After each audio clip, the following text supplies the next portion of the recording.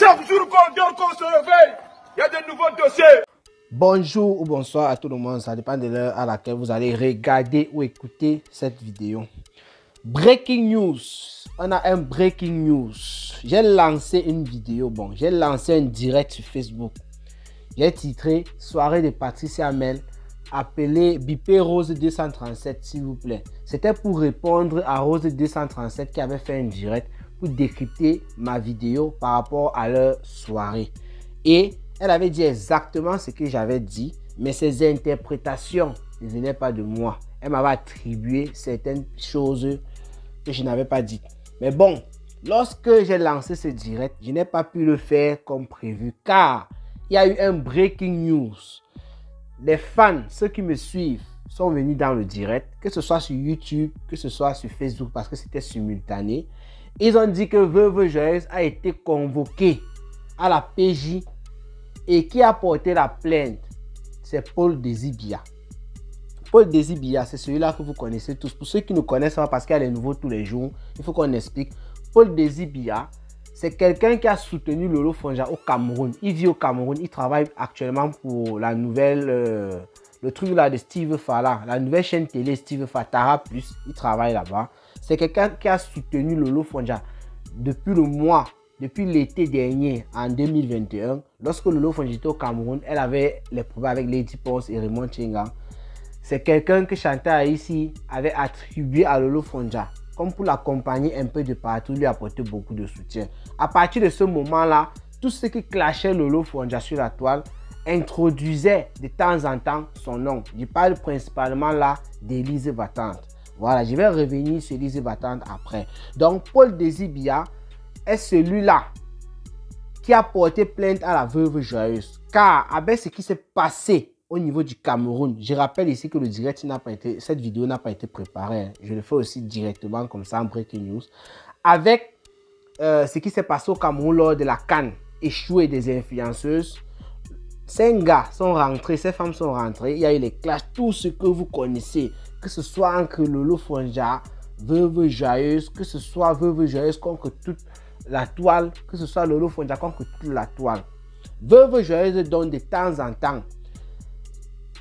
Bon, depuis le, retour de Lolo Fonja, elle avait fait un direct pour dire tout ce qui s'était passé et elle tenait pour cause, la personne qui était mise en cause à ce moment, en ce moment c'était Veuve Joyeuse. Ce que Veuve Joyeuse n'a pas apprécié, elle a déprimé même lors de ses directs. On a vu sur la toile comment Veuve Joyeuse déprimait. Elle parlait de Lolo Fonja matin, midi, soir. Elle parlait de cette affaire matin, midi, soir. Et elle parlait de la même chose. Veuve Joyeuse n'a pas accepté jusqu'à aujourd'hui que Lolo Fonja vienne dire sur la toile que c'était elle le problème. Parce que Lolo Fonja, d'après tout ce qu'elle a raconté, elle nous faisait savoir en quelque sorte que la principale raison de leur retour, c'était le comportement de la veuve joyeuse. Même comme Aline Zoumoubeng, Tata Aline Zoumoubeng aussi avait un peu fait des, choses là-bas avec la veuve. Mais Lolo Fonda s'est beaucoup plus accroché sur la veuve joyeuse. Ce qu'elle n'a pas apprécié, la General Warriors désormais. Et pour clasher Lolo Fonja de temps en temps, elle citait beaucoup le nom de Paul Desibia. Donc de temps en temps, s'il y avait telle chose, n'est-ce pas, tu as fait ça ici avec moi, Paul Desibia était au courant, n'est-ce pas, il y avait telle chose, on avait déjà dit ça à Paul Desibia, n'est-ce pas, Paul Desibia, c'est lui qui t'a appelé parce que la dernière info, lorsque, avant, de partir, avant que Veuve ne parte au Cameroun, elle disait comment la vidéo de Lolo Fonja où elle est en train de demander de l'aide à la bienfaitrice et à maman Chantal Bia, elle avait été aussi convaincue par ce Paul Desibia. Donc, Veuve nous a dit que Paul Désibia aussi t'avait appelé, t'avait convaincu que voilà, il faut le faire, ceci, cela, c'est mon bien. Veuve Joyeuse, en quelque sorte, parlait beaucoup de ce monsieur. Voilà la veuve qui arrive au Cameroun. Donc, euh, nous sommes aujourd'hui, je crois, le 8 mars. Veuve Joyeuse a voyagé samedi, euh, c'était le 6. Elle arrive au Cameroun.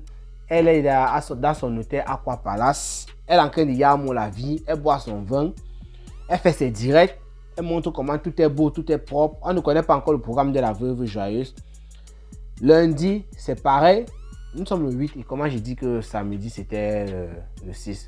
Mardi, le 8. Lundi, le 7. Mais dimanche, le 6. Ça veut dire que samedi c'était le 5. Excusez-moi, c'était une erreur. Bon voilà, il disait elle a voyagé le 5. Veuve joyeuse donc. était dans son hôtel à Aqua Palace, d'après ce qu'elle a raconté, puisque quand les gens m'ont rapporté ça lors de mon direct, moi je suis directement allé vérifier l'information. Je suis allé sur la page de la veuve joyeuse. Elle était en train de parler de ça. Veuve joyeuse dit qu'elle était dans son hôtel. Voici l'histoire. Elle était dans son hôtel. Elle dormait parce qu'à la veille, elle avait fait un anniversaire. Elle était à un anniversaire, elle était fatiguée. Et voilà, on cogne à sa porte. Police, tel, tel, tel. Euh, on nous a porté plainte, c'est monté, c'est descendu. Et elle dit comment, par rapport à quoi? On lui donne le numéro de Paul Desibia. Elle appelle Paul Desibia. Elle demande au gars, tu m'as porté plainte, pourquoi? Ça, c'est la petite explication que la veuve va donner. En attendant plus d'explications, forcément. Tu m'as porté plainte, pourquoi? Elle a commencé à s'expliquer avec le gars. Elle n'a pas voulu trop dire ce qu'ils ont discuté là-bas. Et elle a fait savoir au gars que tu es mon frère et tout. Ce sont les choses des réseaux sociaux. Je ne me suis pas prise euh, à, je, n'ai pas parlé de tes enfants, je n'ai pas parlé de ta mère et tout et tout. J'ai parlé seulement de toi. Donc les réseaux sociaux sont les réseaux sociaux. Mais en tout cas, tu es mon frère, tu es de sang aussi, c'est monté, c'est descendu. Et je ne vais plus parler de toi. Le gars a accepté ses excuses et il a dit qu'il va envoyer sa lettre de désistement. Voilà. Maintenant, veuve gérer ce qu'elle ne comprend pas c'est comment est-ce que la toile est au courant.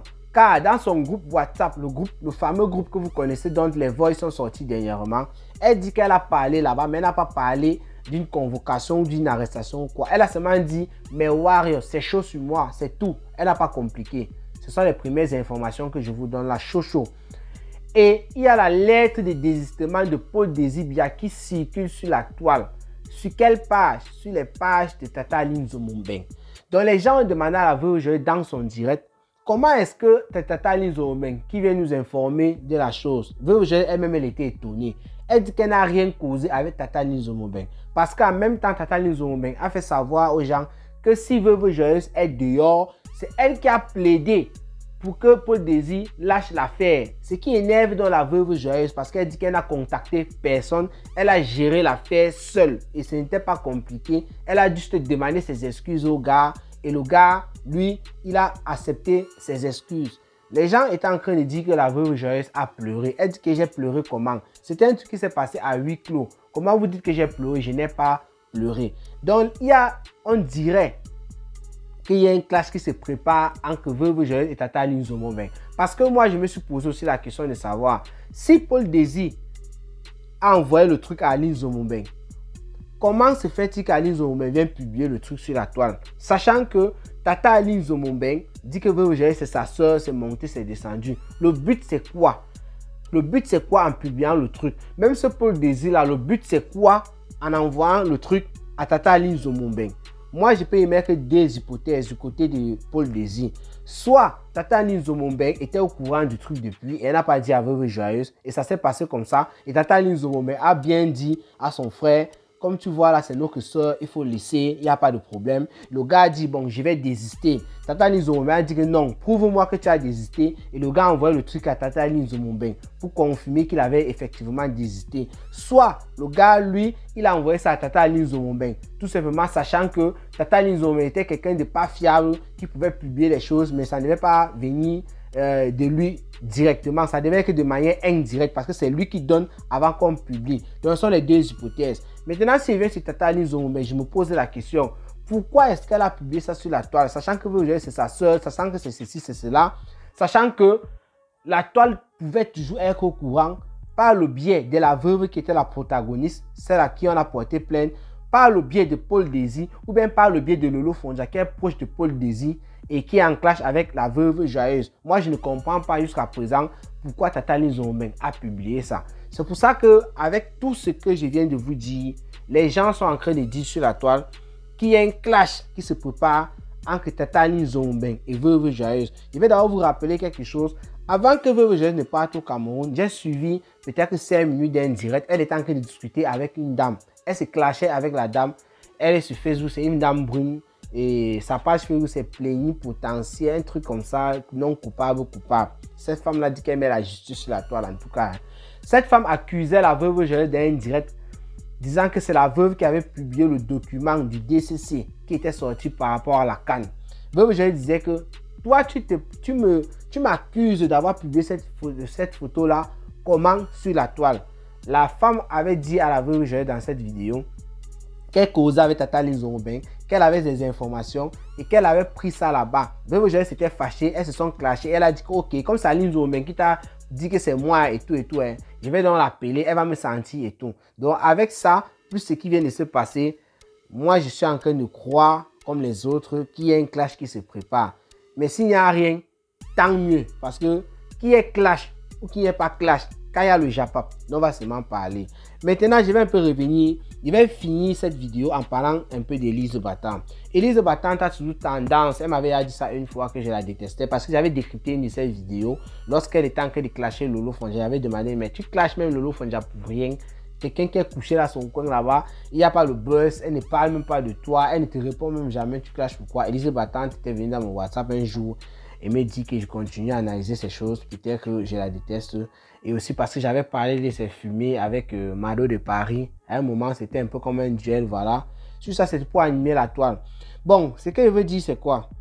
Elise Battante, quand elle va écouter ce qu'elle seule est au courant, que Paul Désibia, lui, il a porté plainte à la veuve joyeuse. Tout simplement parce que veuve joyeuse a passé son temps à parler de lui dans ses directs à l'insulter même. Je vais dire à l'insulter. Parce que pour moi, Veuve Joyeuse n'a pas déchiré Paul Désibia. Comme, il faut, comme elle déchire souvent les gens. Sans parlant de Lolo Fonjak, elle a toujours dit voilà tel qu'on a fait, n'est-ce pas Paul Désibia était au courant. Voilà tel, n'est-ce pas, il était au courant. Un peu des trucs comme ça là. Même si elle a insulté le gars. Par rapport à Elise Battante, moi, moi je sais qu'Elise Battante a plus insulté Paul Désibia que Veuve Joyeuse. Les vidéos sont là, c'est pas le racontage. Parce que quand Elise Battante est restée plusieurs fois, au mois de décembre, rappelez-vous, décembre 2021, Elise Battante est restée, elle a encore porté le dossier de Lolo Fonja. Elle nous a ramené sur la toile que Lolo Fonja niassait avec Paul Désibia. Et quand elle, parlait de ça, elle ne se cachait pas. Elle prononçait tous les noms. Paul Désibia, c'est ton niasseur. Elle a dit comment la femme de Paul Désibia était traumatisée, comment ses enfants étaient traumatisés et comment cette femme devait intervenir. Le gars lui-même a été choqué à un niveau que il a fait une vidéo cette période-là en décembre 2021 pour demander à Elise Batan parce que la date qu'elle avait programmée pour que la femme, sa femme vienne intervenir, lui aussi, il semblerait qu'il attendait ça. Il a fait une vidéo le jour là, je crois le lendemain du jour. Hein. il a dit tout ça pour ça, vraiment. Il répondait à Elise Batan que donc tout ce que tu fais depuis là, pour ne rien nous donner en fin de compte, vous voyez, ça veut dire qu'il est attentif à tout ce qui se passe sur la toile. Donc pour moi, Elise Battante qui part aussi au Cameroun de temps en temps, je suis sûr qu'à partir d'aujourd'hui, Elise Battante ne va plus dormir par rapport au Cameroun. Elle sait que si elle part au Cameroun, même si c'est comment, je ne suis pas en train de dire qu'on va l'enfermer ou quoi, c'est qu'elle suit une plainte à son nom. Veuve d'ailleurs a dit qu'elle n'est pas la seule. Comme voir aussi elle ce qu'elle est, ou elle nous manque seulement pour faire le buzz, ou elle dit la vérité, on ne sait pas. Mais qu'elle manque ou pas, moi je pense que si Elise Battante se rend au Cameroun, même si c'est quand, le gars ne peut pas lâcher Elise Battante comme ça parce que Elise Battante a terriblement framponné Lolo Fonja avec son nom. Et lui-même, il a beaucoup bu le Ndjangi dans la bouche d'Elise Battante. C'est de ça qu'il s'agit. Disons-nous les vérités. Donc, Elise Battante, là où elle est là, moi je vais te dire hein, une fois, je suis sûr que le monsieur là a porté plainte contre toi. Bon, même s'il n'a pas encore porté plainte, nous sommes sur la toile, non? Le juge qui va savoir que tu es en train de te déplacer pour le Cameroun, il va prêter sa plainte pour toi. Moi, je suis sûr. Parce que s'il porte plainte à la veuve joyeuse parce qu'elle a prononcé son nom dans les directs, elle est insultée. Mais comparé à toi, c'est très grave. Donc, ce n'est pas une affaire, tu n'aimes pas Elise Bataille, ça n'a rien à y voir. Toi-même, tu sais que ce que je dis est vrai. Toi-même, tu es conscient que si le monsieur a porté plainte à veuve joyeuse, toi, ce qui est sûr ne va pas te louper. Il va aussi te porter plainte. Voilà. Donc, il va commencer à faire tes négociations par derrière, c'est monté, c'est descendu. Il y a aussi quelque chose que les gens étaient en train de dire, que Lolo Fonja était au courant. Peut-être que c'est Lolo Fonja qui a demandé au gars de porter plainte à la veuve joyeuse pas pour que la veuve joyeuse parte en prison, parce que moi-même aussi, je suis d'accord. Je ne pense pas que la veuve joyeuse aimerait voir sa soeur, même si elle s'entend pas avec elle, aller en prison. Même Elise Battante qui déchire Lolo Fonja tous les jours. Je ne suis pas sûr que Lolo Fonja aimerait voir Elise Battante aller en prison.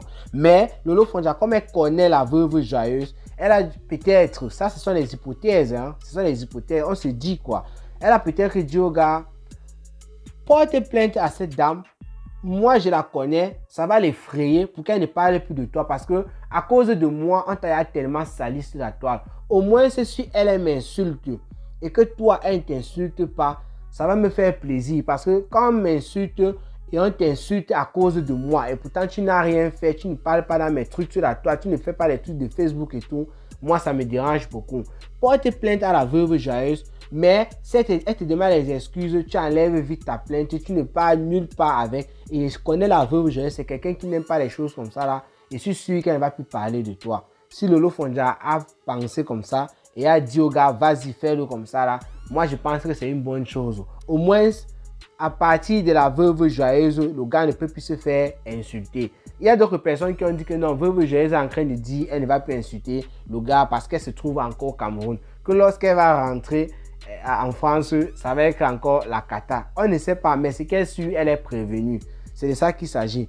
Veuve joyeuse, en attendant qu'elle nous donne encore plus d'informations sur l'affaire, puisqu'elle a passé son temps à répondre seulement aux gens qui disaient qu'Aline Zombin a plaidé pour toi, machin s'est monté, elle était en train de se fâcher et elle racontait beaucoup de choses. C'est qu'elle est sûre, comme je vous ai dit l'autre jour, que le voyage de la veuve joyeuse ici, lorsqu'elle devait être au Cameroun, ça ne devait pas souffrir avec le buzz. Voilà déjà un bon buzz qui est en train de sortir comme ça. Et veuve joyeuse va nous donner encore plus d'informations.